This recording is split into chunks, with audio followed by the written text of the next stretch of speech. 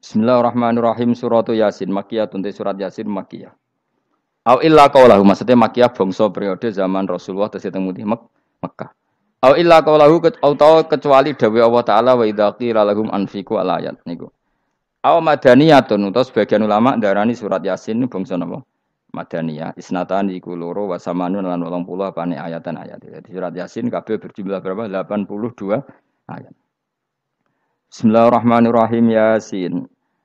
Ya semua ulama mana Yasin itu mana nama lain dari Rasulullah Muhammad Shallallahu Alaihi Wasallam. Meskipun secara ikhtiyat, secara hati-hati, mufassir biasanya bilang Allah a'lamu bimuradi bi. Allah ta'ala alamu dat sing berso bimuradi kelan kersane Allah bi iklan Yasin. Tapi kita tahu secara ahwalul ulama, ya saya ulang lagi, kita tahu secara tradisinya ulama tetap mengatakan Yasin maknanya ayah Muhammad. Buktinya terusannya apa? Innaka laminal mursali. Innaka ke siapa coba? Ke Nabi kan, Nabi Muhammad. Berarti Yasin wahai Muhammad kamu adalah mursalin. Apalagi ada istimal yang sudah konsensus seluruh dunia. Misalnya sholatullah, salamullah ala toha rasulillah, sholatullah, salamullah ala yasin habibillah. Jadi makanya saya berkali-kali bilang, saya pernah ngisi pengajaran tafsir di Madura juga bilang gitu ada disiplin ilmu tafsir dan itu kadang ketatnya ikhtiyat. Ikhtiyat itu hati-hati sehingga tetap bilang Allah alamu bimuradi bidalik. Tapi meskipun demikian, ada konsensus masif dari para ulama yang menggunakan Yasin Toha itu untuk Rasulullah Shallallahu Alaihi Wasallam. Karena siar, secara siakul kalam pasti demikian. Misalnya di juz 16 ya, surat Toha itu ya, 16 ya. Toha, ya Muhammad ma anzalna alaikal qur'ana litasqa. Coba kalau toha ada artinya Muhammad lalu siapa? Enggak ada kata ma anzalna alaika apa? Coba sekarang toha ganti ya Muhammad kan pas ya Muhammadu ma anzalna alaika al-qur'ana litasqa. Jelas ya? Secara siakul kalam toha menunjuk siapa? Muhammad karena tuh sana ya coba ya. Toha diganti kata Muhammad. Ya tentu diganti secara makna. Ya Muhammadu ma anzalna alaikal qur'ana ditasko. Yasin juga ganti aja. Ya Muhammad demi Quran yang hakim, inna kaya Muhammad laminal mursalin. Sehingga meskipun mufassir secara disiplin ikhtiyatnya, kehati-hatiannya bilang inna kalaminal apa? Awa alamu bimuradihi bidalik, tapi secara ahwalul ulama, tetap Toha dan Yasin adalah ismun min asma'i Rasulillah sallallahu alaihi wasallam. Kayak apa?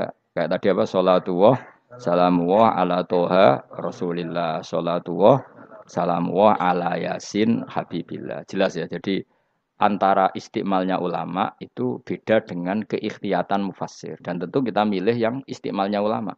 Karena itu lebih gampang supaya kata alaika khitab itu kena apa? Kena. Mukhotabnya siapa? Siapa? Terus ketiga kata Ibnu Jarir atau Bari, nggak mungkin Allah mengkhitobkan sesuatu dengan sesuatu yang nggak bisa difahami.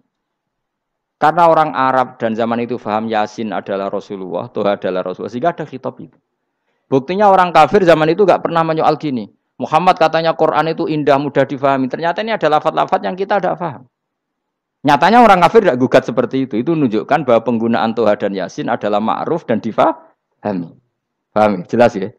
Ya soal nanti ikhtiyat, ya ikhtiyat saja kita ikhtiyat. Paham ya? Tapi tetap difahami apa? Tetap difahami. Buktinya jelas kan Toha ma anzalna alaika. Berarti diganti saja apa? Ya Muhammad ma anzalna alaika al-Qur'ana ditasqa. Mun jelas ya. Wal Qur'ani demi Qur'an al-Hakimi kang bijak.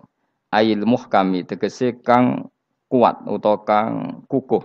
Kukuh maknane indah bi aji binasmi kelawan ke keajaibane susunan wa badi ilmaani lan keindahane makna. Innaka saat temen sira ya Muhammad wa Muhammad lam nal mursalin setengah sangking wong sing diutus. Sungguh termasuk wong sing diutus Allah.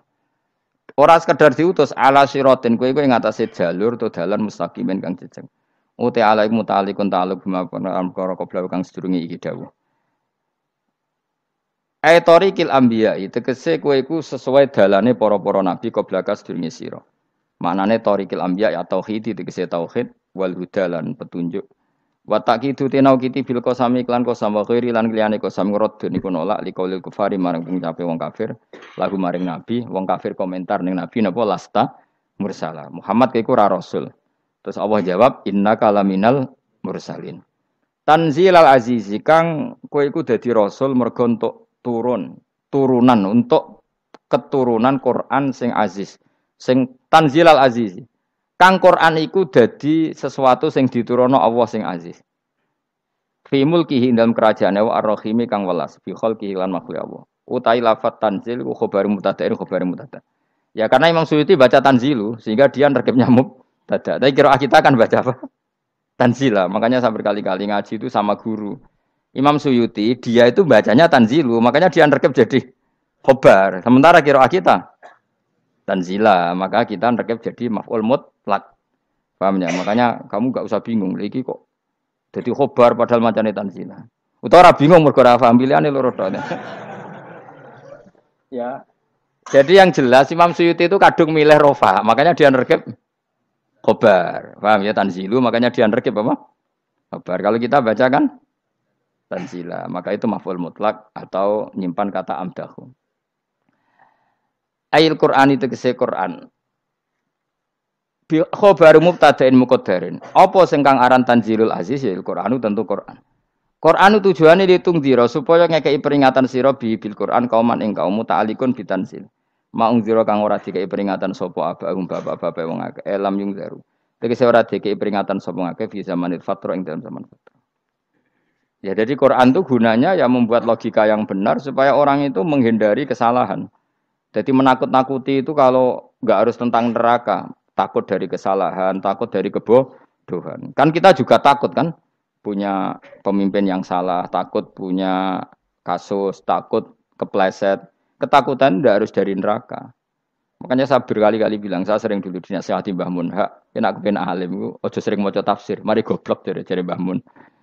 Maksudnya mari goblok itu gini, mufasir itu manusia, kadang dia itu satu ayat umum, dia mendiktekan ke satu kasus, padahal kasusnya lebih umum. Makanya berkali-kali sama nani umpomong ini, contohnya ini. Karena karena nanti itu mengikat. Misalnya gini ya, saya ulang lagi ya. Ben gayamu kayak wong alim. Ini kan malam dua tiga. Saya itu nggak pernah loh ngitung sengaja. Tapi adalah ini malam dua tiga kita insya Allah nginjak jus berapa? Dua tiga. Ini insya Allah barokah sekali. Tapi rasa Arab Arab Lailatul Qadar biasa wae. Ora kelas e. Wis ben sing entuk Lailatul Qadar ben wali-wali wae. Kene entuk cipratane wis cukup. Lah wong traweh arang-arang ya jaluk. Iya kalau kita mintanya dianggap Allah minta, kalau dianggap ngelama. Coba andekan kapasitas Anda itu RT, minta jadi presiden, itu ngelama apa doa? Tidak jawab saja. Ngelama. Jatah kamu untuk adab, kok jaluk lalatul qadar, itu ngelama apa Anda? Mestinya jalukmu orang untuk adab, itu bagus. Paham ya? Banyak ulama diajak istisqa gak mau. Banyak itu ulama. Ayo istisqa kita karena sudah lama gak hujan. Kata ulama tadi jatah kita ini kena hujan batu dari langit. Enggak hujan batu sudah bagus, enggak usah minta. Lama macam-macam. Lah rai-rai ngene iki pantes entuk Lailatul Qadar apa adab ayo jawab. Ayo. Orang untuk adab wis bagus. Yo dadi dongane ya Allah. Ampun jenengan siksa la tu'a khidna.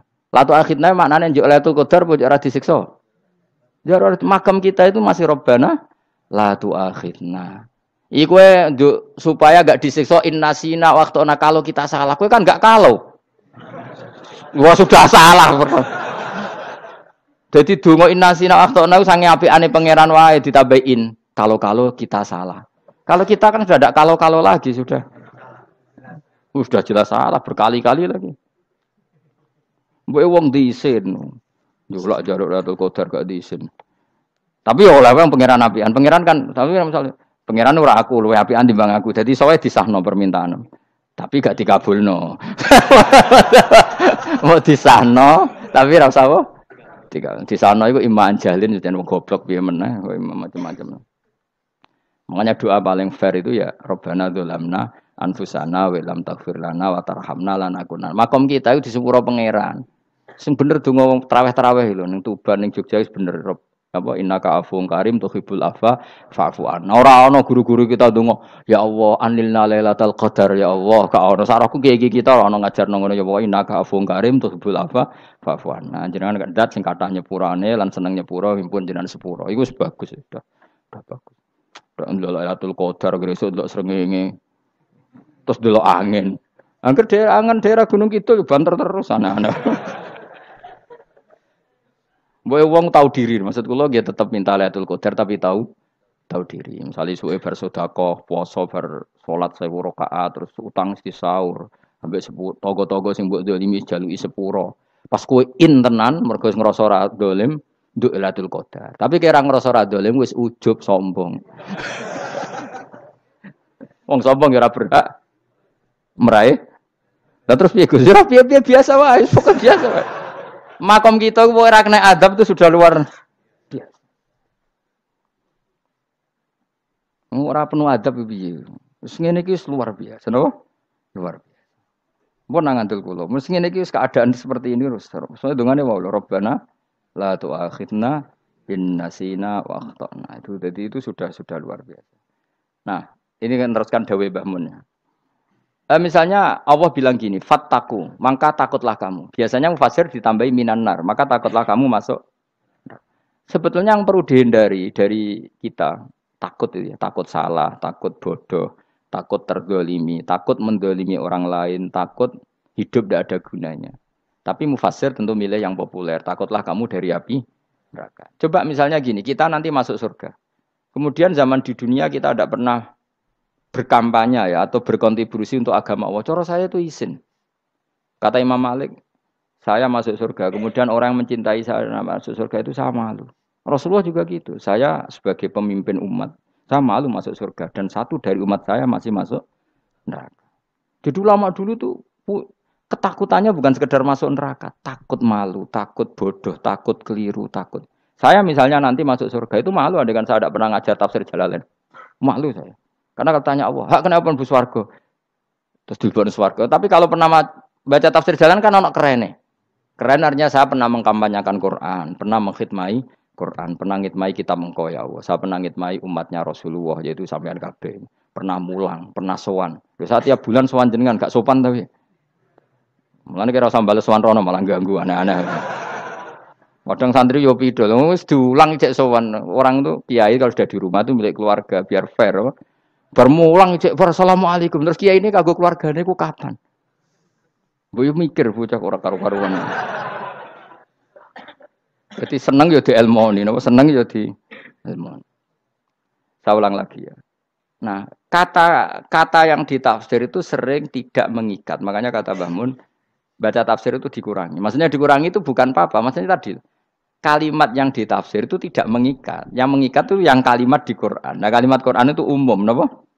Misalnya gini, Allah lalu gini, uh, ikdilu, kamu harus berbuat adil. Lalu adil itu misalnya mufasir menafsir, tak adil itu menyamakan di antara dua orang konflik. Misalnya di MK 01 dan 02 dianggap sama, itu namanya adil. Itu kan dawe mufasir. Atau misalnya gini, Allah bilang gini ke saya, hak kan ada kiai sing adil. Terus adil ditafsiri orang, adil itu menyamakan sesama murid, haknya sama. Nah, tapi bisa saja adil itu di luar itu semua. Misalnya gini, ternyata adil menurut Allah gini. Adil maknanya seimbang, apa? Adil itu maknanya apa? Seimbang. Lalu keseimbangan seorang hamba adalah dia ingat Allah lebih banyak. Karena ini bandul yang benar-benar nyata. Allah itu nikmatnya nyata. Sehingga ketika saya sebagai orang alim ingat saya alim itu karena Allah, dikasih ilmu Allah, dikasih cerdas Allah, Dikasih semuanya dari Allah. Sehingga saya itu tidak merasa kumuluhur pada kalian. Karena semua ini dari Allah. Kemudian Allah sendiri yang memerintahkan. Ya, kamu harus mengajar. Maka saya ada Arab-Arab salam templek sampeyan, penghormatan sampeyan, apresiasi sampeyan. Karena saya hubungannya hanya dengan Allah Subhanahu wa Itu namanya adil. Meletakkan sesuatu proporsional. Itu juga adil namanya. Makanya seseorang itu nggak bisa dikatakan abid selagi belum tahu kalau ibadahnya minallah. Jadi misalnya ke ibadah tok. Ternyata kamu yakin itu ibadah kamu, amal kamu itu belum abid.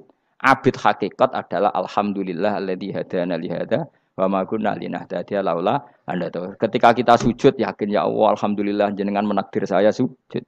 Saya sholat alhamdulillah engkau menakdir saya sholat. Sehingga minallah dulu pikiran itu semua kebesaran kemendahan hari ini minallah dulu. Baru setelah minallah kita yakin billah. Setelah billah juga yakin ilaw. Wah. Misalnya gini ilawah itu. Setelah saya ngajar tafsir Jalalain, kepentingan saya satu. Hamba-hambanya Allah menjadi tambah mencintai Allah. Tidak mencintai saya, enggak penting sama mencintai saya. Makanya Imam Syafi'i tiap ngajar bilang begini. Waditu annal annal khalqa ta'allamu hadal ilma wala yahmadunani. Saya senang kalau kalian belajar fikih sama saya, tapi kamu tidak usah muji saya. Jadikan fikih ini alat takarub kamu kepada Allah. Itu namanya minallah wa ilallah. Itu adil. Tapi adil yang dijelaskan ulama beda-beda tadi. Ada mengatakan adil adalah proporsional antara murid, antara keluarga dan murid. Meskipun kamu senang mulang, jangan merantarkan keluarga itu tidak adil. Itu kan versi, no? Maksudnya Mbah Mun, kamu jangan terjebak versi-versi dalam tafsir. Paham ya? Karena Allah hanya ngendikan i'dilu wa akrobu. Paham ya? Tapi kan penjelasan adil ini orang versi. Paham ya? Ada yang nulis adil adalah meskipun mimpin masyarakat ya ingat keluarga. Karena sing tukang wayo oleh nafsir adil, adil adalah karena laki tidak cukup istri satu maka ya kan yo repot nanti. Tapi kalau kadung kadung istrinya tiga atau empat, adil adalah harinya sama meskipun janda dan perawan. Jadi sing lanang gak adil adalah propor Rasional. Sing wis suwi dikumpuli dikurangi. yang baru ditam. Ya mungkin nggak, mungkin kabeh nggak kalau nuruti. Iya mungkin nggak. Ya, tapi itu kan versi, nama. Maka kata Mbak Mun itu memang sebaik, saya itu merasakan, saya sebagai mufasir merasakan memang saya akan sering baca Jalalain beda dengan tafsir Munir, nanti beda dengan tafsir Qurtubi. Saya beri contoh misalnya. Dan kamu pasti salah jawab ini. Kalau kamu benar berarti ya alim tenan. Wa idza darabtum fil ardi falaysa alaikum junahun antak kesuruh binas sholat. Orang kalau pergi itu boleh enggak ngosor sholat? Enggak jawab saja. Boleh kan? Ngosor sholat itu apa? Misalnya sholat asar empat jadi berapa? Dua. Kalau isak jadi dua. Kalau subuh? Enggak, sudah maju lah. Maghrib? Enggak, kan yang bisa dikosor hanya berapa? Yang rubaiyah, yang apa? Berarti kamu yakin antak suruh minas sholat artinya empat jadi dua? Yakin? Tidak jawab saja. Yakin. Nah itu termasuk orang pinter. Ya. Berarti ilmu lagi sak trip. Ya. Sebetulnya kata Imam Qurtubi enggak. Ayat itu kan hanya bilang gini. Kalau kamu bepergian maka kamu boleh menyendak sholat. Kosru itu memotong. Dari aturan yang dulu empat menjadi dua. Sebetulnya ada hanya itu tok. Aturan tidak boleh membawa najis menjadi boleh. Aturan harus tumak nina menjadi tidak harus tumak nina. Misalnya kamu sholat dalam keadaan perang, wajib tumak nina apa boleh sambil lari-lari? Boleh sambil lari-lari. Boleh gak ketika perang kamu sholat sambil menghadap tidak ke kiblat? Boleh. Makanya antak suruh mina sholat maknanya apa? Jika kamu pergi, maka dalam konteks itu kan perang ya. Ayat itu memang konteksnya perang. In khiftum ayyaftinakumul ladina kafar. Jika kamu dalam keadaan perang, maka boleh memangkas apa yang pernah wajib dalam aturan sholat. Paham ya? Empat menjadi dua. Keharusan menghadap kiblat menjadi tidak wajib. Membawa najis sholat sah enggak? Enggak kan? Tapi kalau dalam perang, kemudian pedang kamu ada najisnya, boleh dibawa enggak? Boleh. Jadi maknanya tak suruh a'ammu min ayakuna kosro sholat wa min ayakuna wajibati sholat yang sekarang enggak wajib. Semua itu namanya juga meringkas kewajiban. Berarti nak mana nih, jika kamu dalam keadaan perang maka boleh memangkas sesuatu yang dulu wajib menjadi tidak wajib, yang dulu haram menjadi boleh. Tapi mufasir menyontohkan kosru sholat hanya empat menjadi dua. Dong ya. Oh ya, nanti alim ngono tenan wis dokter wis dokter tafsir sah. Enggak tak iku sudah dewi. Tapi apa orang lain ngakui. Jadi itu itu contoh kecil. Jadi mufasir karena kebetulan dia tahunya hanya kosru sholat itu empat jadi dua, dia itu. Padahal di tafsir lain diterangkan kosru itu artinya menyingkat atau mencendak atau memangkas. Dulu wajibnya sholat itu nggak boleh bawa sesuatu yang najis. Tapi kalau sholat dalam keadaan perang dan pedang kamu ada darahnya boleh nggak dibawa? Boleh. Bahkan Allah menyuruh dibawa. dibawa. Dan boleh nggak madep kiblat. Fa in khiftum farijalan auruk banat lagi faida amin tum kama allamakum ketika keadaan aman baru sholat sesuai standar nah berarti kan ada kosru sholat ada pemangkasan aturan sholat. Kayak misalnya begini. Dalam keadaan normal boleh nggak kamu motong pohon pisangnya tetangga tanpa izin? Nggak boleh kan? Tapi misalnya ada banjir bandang kemudian kamu bisa selamat kalau motong itu. Wajib izin apa malah haram izin? Haram izin harus kamu langsung potong. Karena kalau tanpa begitu kamu teng dan yang punya wajib meridoi kalau gak meridoi disalahkan sarak malah. Paham ya? Jadi ini penyolongan yang wajib Tapi tak sebab potong kayak ngelangi kan. Terus gedangnya mbok pangan itu berlebihan. Karena Allah memaklumi hanya untuk ngelangi. Jebule wis menisan lah itu. Itu itu di luar izin syariat apa? Di luar izin syariat. Itu melampaui batas itu. Syaratnya boleh itu ghairu baghiw wala famani turro itu darurat syaratnya ghairu baghiw wala dan tidak boleh melebihi batas. Ora apa ngetok gedangnya jupuk sik Sing mateng dipangan terus diketok. Ora oleh. Paham ya? Jelas ya. Makanya kalau ngaji tafsir ya saya kan berkali-kali ada makna di tafsir Imam Suyuti saya tambahi umpamanya ini. Maksudnya umpama itu supaya contoh itu tidak mengi, mengikat. Jadi yang disebut beliau itu satu dari sekian potensi ribuan con, contoh. Ya kayak tadi misalnya antak suruh minas sholah. Itu umumnya ulama membayangkan kosru sholat yang empat jadi dua. Padahal enggak, maknanya meringkas aturan dari wajib menjadi tidak wajib. Bahkan sebagian aturan itu dikatakan haram, tidak haram. Itu tadi misalnya bawa najis atau teman kamu mau dibaca orang kafir, terus kamu bilang, hei hati-hati, itu tidak batal kalau dalam sholat sidatil khauf. Paham ya? Jelas? Semaju lah. Malam telu likur, lelatul. Aku wis gumen mbek wong-wong bingung ora ilmune wong-wong ma abahum. Elam yung daru tegese ora den kei wedi sapa ngangge fi ing dalam zaman fatra ya sama seperti ini. Orang tidak mendapat ingzar tuh fi zamanil fatra zaman enggak ada rasul. Tentu tidak hanya itu tok. Ada rasul tapi orang itu jauh dari komunitas ulama. Itu juga termasuk orang yang tidak mengalami in jadi mengalami tidak mengalami ingzar bisa di zaman fatra atau sudah ada rasul tapi dia jauh dari ulama atau jauh dari komunitas is Islam. Itu juga komunitas yang tidak ngalami ing ingdar. Fahu mongko te wong akeh il kaum iku khafidun lali kabehane imani sing iman parustilan bener. Ya, contoh paling gampang tuh nak dawe yai mesti bener itu loh. Kalau kamu ngaji tafsir Jalalain ya Yuhan nasu budu robbakum. An nasu biasanya tafsirkan kufaru Mekah, napa?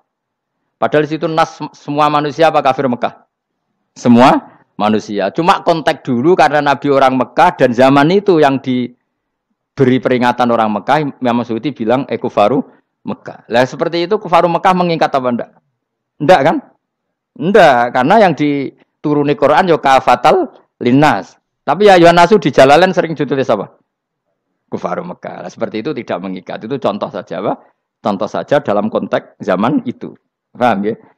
Jadi banyak, makanya tafsir itu enggak ngikat.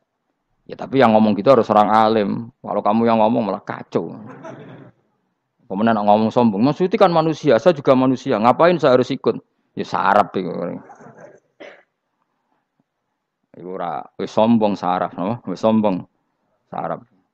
Lakot hakko teman-teman fahum, lakot hakko teman-teman nyata apa alkaulu apa titah, eh wajib tegese wajib mana nyata ala aksarihim. Ing atase wake-wake wangke bil adab.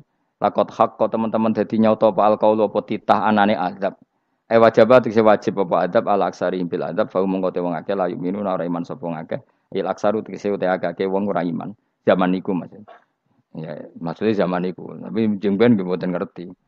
Tapi yang mungkin batu Isa itu semua orang iman, tapi ya banyak yang setelah iman itu tidak bermanfaat lagi karena wes napa matahari terbit dari napa barat. Hina la yanfa'u nafsan imanuha lam takun amanat min qabl. Inna sa'atam ingsun ujalna ingsun fi anaqihim. Ing dalam gulu-gulune wong akeh tak gawe aghlalan ing belenggu. Bi ayu dhamma gambar bi antu dhamma ento dhewe kumpulno ilaha maring anak apa di tangan. Di anal lah karon saat meneh gil iku yajma'u iso ngumpulno apa gil al yada ing tangan kal unuk maring geger maring napa gulu gulu guri lho jenenge unuk. Wong Arab nak darani kene ku unuk, nak darani kene ku nakher. Ya jare wong Arab, ya kene ki unuk, kene ki nakher. Lah gulu niku tangan didakok teng napa? Napa? Gulu. Apa ini jenenge? Cidok niku cidok nih. Sing guri-guri. Faya mengkote tangan il aidi kumas muatun ting kumpulno ilal atkoni maring dagu. Niki lho jenenge dagu. Jam udzakonin waya mustama ulahyan.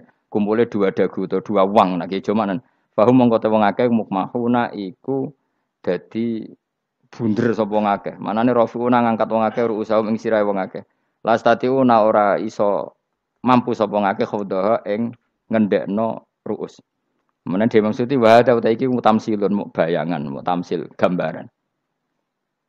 Mulane kula gumun be ulama riyen. Tak contohno ya, nak ulama dhisik ku top. Wong dhisik nak darani bun rokok digludungno. Wong kafir sok ben digludungno ning neraka. Iku yo pancen ngalim tenan ngomong dhisik. Mergo gambaran ngene, ora usah mbok praktekno soben, praktekno saiki wae. Nak praktekno soben kowe soben mlebu neraka. Dadi ngeten, wong nak lungguh ngene, wong Arab nak darani iki ason-ason. Terus ngeten. Ngeten. Niki kan niki jenenge apa? Dengkul. Dengkul itu kena dagu, terus tangan kena cidok. Dadi ngeten. Jadi wong wis dalam keadaan bunder. Paham ya? Lah malane malaikat karek nyaduk terus gludung-gludung ngono. Paham ya? Jadi mergo yo napa?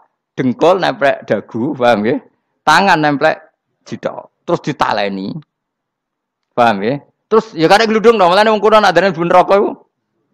Oke bayangno saiki sok ben ra usah, gak usah mlebu maksudnya, paham ya? Mulane ape mlayu ora iso, wis posisi ngono, paham ya? Sebenarnya rasa delok, maksudnya itu praktekno saiki.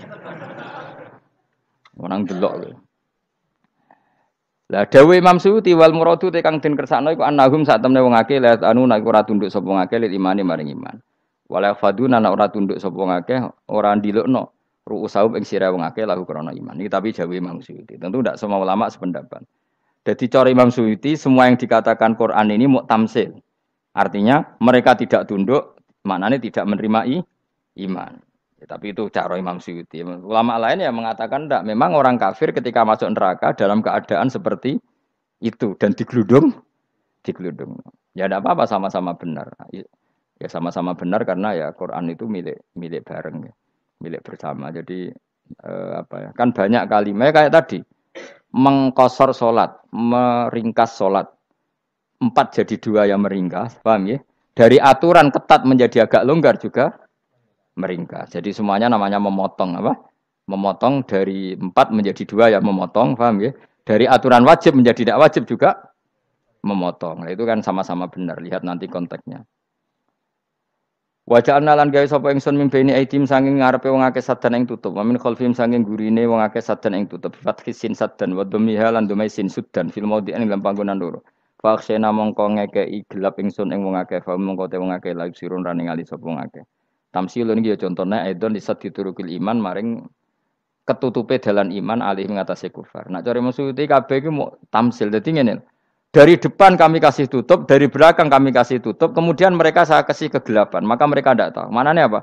Dari arah depan yang mereka nggak ngerti pentingnya iman, dari arah belakang yang mereka tidak ngerti pentingnya iman, maka mereka buta, artinya tidak i, iman. Itu dari Imam Suyuti. Tamsilun edoni hanya perum, pamaan lisat diturukil iman yaitu tertutupnya jalan-jalan i iman. Tapi ulama lain mengatakan ya ndak, memang pernah ada peristiwa di mana orang kafir ngepung Rasulullah dan mereka dari depan matanya dihalangi, dari belakang dihalangi sehingga ketika Rasulullah keluar mereka tidak meli melihat. Itu ya nyata ya. Jadi makanya ngaji ya. Jadi ben keren. Oh ini ada sekian tafsir terus gue ngomong kan kayak wong alim keren. Nah, tak kata siapa? Ono rekamane. Tapi yang orang kaji dewe, nak tahu kata siapa? Ada rekamannya. Lah anak aku takut ada kata siapa Gus tak dudono kitab Lah anak gue dudono rekaman. Iku sampai zaman akhir ngono wis maju. Sok sing rido kan. Enak kok Kang jadi orang alim gue enak. Nanti itu jadi orang alim ya rugi. Tadi nanti kan gitu. Syekh Abdul Qadir masuk surga. Entah ini gelombang kedua dan para penggemarnya. Jadi akhirnya sing alim tenan yang bu warga, sing kedua dan para penggemarnya. Aku rasa alim kan, cukup penggemar. Jadi aku sebenarnya rugi kan. Gus Pak masuk swarga kedua dan para penggemar. Waduh. Terus jebule podo ae. Iku saking rohmane Allah. Kenapa? Kan masyur itu hadis itu. Rasulullah itu ada sahabat nangis, gak bisa tidur nangis. Berhari-hari gak bisa tidur nangis. Hanya karena ingin punya satu pertanyaan. Lama-lama ketemu Nabi, ya Rasulullah saya sudah berhari-hari gak bisa tidur, ingin menanyakan ini tapi tidak berani. Coba kamu tanya saja. Ya Rasulullah, saya ini kalau mati, engkau kan suatu saat dipanggil Allah, saya ketemu engkau. Makanya mumpung sekarang saya tak melihat wajah engkau sekuat-kuatnya, sepuas-puasnya. Karena Nabi ya. Terus, kenapa? Ya kalau engkau di surga, saya di neraka kan nggak ketemu lagi. Atau kalaupun engkau di surga kan kelasnya beda, kan tidak ketemu lagi. Jadi kemungkinan dua-duanya itu tidak ketemu. Karena tadi bisa saja Ya, artinya Nabi karuan di surga, saya di neraka tidak ketemu. Atau engkau di surga, saya di surga pun beda kelas. Ya nggak ketemu. Terus kata Nabi, tidak begitu aturan mainnya. Almaru ma'aman ahabba. Orang itu sesuai yang di Ya dia dia orang bersama orang yang dicintai. Jadi ya saya harus ikhlas kalau kamu saingi nanti. ya yes, takdir no. Takdir. Wasawana ni padha uga ale akeh angger tau te ngekek peringatan sira gumeng wong akeh tahqiqil hamzatin angger ta. Wa ibdali saniyati alifan angger ta humata sili ala nasil hamzah wa itu khali alifan wa bin alif bin musahal andaran dan hamzah sing ditasil wa ukhra lan ya wa tarki lan tinggal itu khali. Am lam tungzirhum wong ra wis bakat kafir mbok elingno cek ra mbok elingno tetep la yu'minun ora gelem iman. Lah sing iman iku sapa inama tungziru ang mestine ngelingno sira. Maksude yan fa'u tegese manfaat apa ing daruka peringatan sira. Peringatan manfaat man ing wong ittaba kang anut sapa man adzikra ing Quran il Quran tegese Quran. Wa khasya lan wedi sapa man ar-Rahman ing Allah Rahman bil padahal ora roh pangeran.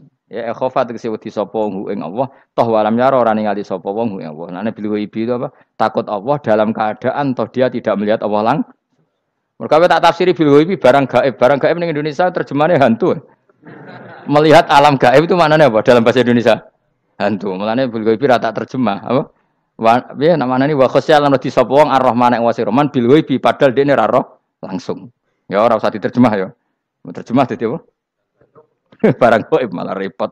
Fabasiruhu mongko ngeke berita gembira sira ing man bimaghfiratin kelawan pengempuranan wa ajrin dan ganjaran karimin kang terhormat. Orang yang seperti itu yang ngikuti Quran dan takut Allah itu layak mendapat maghfirah wa ajrin karim wa ta'ala juru karim wal jannatu swarga. Inna saat temen ingsun awa nahnu ya ingsun iku nuhyi nguripno ingsun al mauta ing wong sing mati libak si krana pas. Wa naktubu lan nulis ingsun fil lauhil mahfud ma ing apa wae kodamu kang nglakoni sapa ngake fi hayatihim. Di loh mahfud apa yang pernah kamu lakukan ditulis min khairin kaapian wasari dan kaelean liyujazau supaya diwales sapa ngake alih ing atase iki. Wa atharahum lan yo tak tulis bekas-bekas kelakuanem. Matek saya perkara ustuna kang digawe sunah apa bima badam sak usah ngake. Jadi perilaku kamu ditulis, setelah kamu mati ya masih ditulis, yaitu bekas-bekas sunnah kamu yang pernah kamu lakukan. Jadi misalnya kok penemu judi, selama ada orang judi ya kamu dapat, paham ya? Paham ya? Loro gak ya? Makanya ulama ngendikan dulu tubalil amwat, tubaliman mata wa matat ma'ahu dunubu. Bejo wong mati, kemudian dosa-dosanya melok mati pisan. Ini dia mati dalam keadaan tidak pernah melahirkan sunnah keburukan, paham ya? Tapi bejo wong sing mati, kemudian dia meninggalkan sunnah kebaikan yang diikuti ter terus. Kok sampean ini lo bener? Gak paham jalan lah, nggak jalan kalau turun ngaji. Sehingga sebenarnya anak em gak paham lah ya gue. Lo kok gue jalan cung? Bisa bapak rafam paham lah ya gue. Itu sudah bagus. Apa? Bagus. Berarti pokoknya anut anak ya anut. Pokoknya keren, wah, pokoknya keren, sama keren. Jadi nanti sebenarnya anak em tuku jalan, takut pak Kok tuku jalan dhisik bapak aku ning lemari iki ono jalan. Lah tapi dhisik bapak paham yo ora ya ora paham padha. Wis stop, oh, stop. Jelas ya gitu. Wanak tubuh mangkodamu wa atharoh. Makanya sisa-sisa amal kita, bekas-bekas amal kita semuanya adalah ditulis sampai Allah Subhanahu wa taala. Mulane kula kepengin jenengan nate syukuran, pisan-pisan nate syukuran. Pertama anak kita bisa sholat, guling-gilingan banyak orang syukuran perkara ulang tahun. Kenapa pertama anak kita bisa sholat kita tidak pernah apa? Syukuran. Padahal sholat itu yang menjadi identitas anak kita, kehambaannya ila kiamah. Ya orang itu gitu. Sehingga nanti anak kita itu senang sekali. Itu saya itu kalau agak marah, itu anak saya yang paling kecil, baru umur 6 tahun. Itu tahu-tahu bilang, Pak saya sudah sholat. Karena dia tahu, saya itu paling terhibur kalau ada berita sudah sholat. Jadi itu penting supaya orang itu tahu orientasinya bapak itu sholat.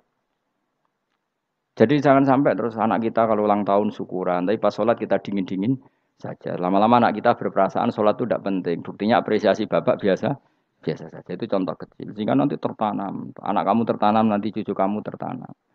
Jadi itu namanya asar apa? Asar. Jadi harus seperti itu. Jadi ya itu itu namanya asar. Makanya Nabi Ibrahim nggak berani minta uang sama Allah.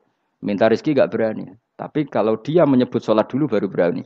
Robbana liuqimus sholat faj'al afidatam minan nas tahwi ilaihim warzukum. Kata Ibrahim, supaya mereka kuat sholat ya Allah. Enggak apa-apa kamu kasih makan, supaya kuat sholat. Karena kalau Nabi Ibrahim hanya berdoa, ya Allah kasih mereka makan. Nak digo zino, gue demenan, gue judi. Nabi Ibrahim melok dosa. Makanya dimulai Robbana liuqimus sholat. Supaya mereka kuat sholat ya Allah. Enggak apa-apa mereka kasih makan. Tadi supaya ini sholat jadi pokok. Kenapa kita makan? Supaya kuat sholat. Andai kan Ibrahim hanya berdoa supaya kasih makan mereka. Kemudian kekuatan itu dipakai maksiat. Ibrahim kan ikut dosa. Itu sirinya kenapa doanya Robbana liuki musolat ya. Jadi kata liuki musolat didahulukan apa? Supaya mereka kuat sholat. Maka kasihlah makan, kasihlah rezeki. Jadi supaya sholat jadi pusat orientasi. Itu harus dilatih. Ya tentu kamu ngelatihnya sidik-sidik. Wong anak esopo kan gitu, tapi ini kan cerita aja. Maksudnya, maksudnya orangnya biasa wae, maksudnya biasa wae. Maksudnya itu mau cerita. Kue gelo ya monggo, terus mutung ra ngaji ya monggo, gampang. Kue ra ngaji, aku golek murid kok kue gampang. Kue golek guru kok aku kangelan. ya maksudnya sing gelem ngalah teko ini kan. Oh, liane larang kang nyewane. Wa asarohum lan bekas-bekasnya mereka.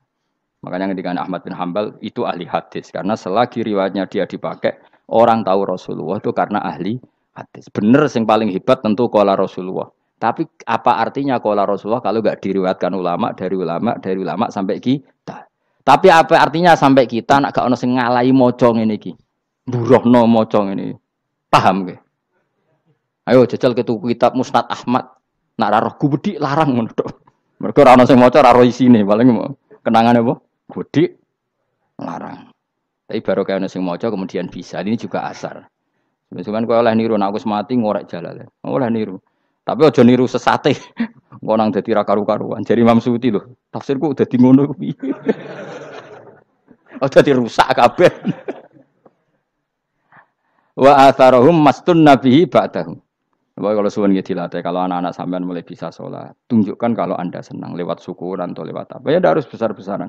Tunjukkan kalau kamu mengapresiasi secara sen senang. Karena itu identitas kita. Apa identitas kita. Wa kula sa'enan ing saben-saben perkara. Nasobana nasobahu bi fi'lin fasir utawa nasbuhu. Nasbuhu ta nasabe lafat kula sa'en bi fi'lin lan fi'il yufasir. Nasbuhu ta nasabe lafat kula sa'en bi fi'lin lan fi'il yufasiru kang nafsiri ing fi'il apa dawuh ahsainahu. Ek ahsaina kula sa'en ahsai. Nah, berarti nama nani wa kula sa'en lan ngitung ing saben-saben perkara. Wa kulasain lan ingsun ngitung ing saben-saben perkara. Maknane ahsayna tegese ngitung ingsun wa ingsa. Dobat nau tegese ngitung ingsun wa ingsa fi imamin ing dalam catatan utawa ing dalam kitab induk. Imam ku maknane kitab induk mubinin kang jelas. Eh kitab tegese kitab bayin kang jelas. Wa al kitabul bayin iku Allahul mahfuz lah mahfuz.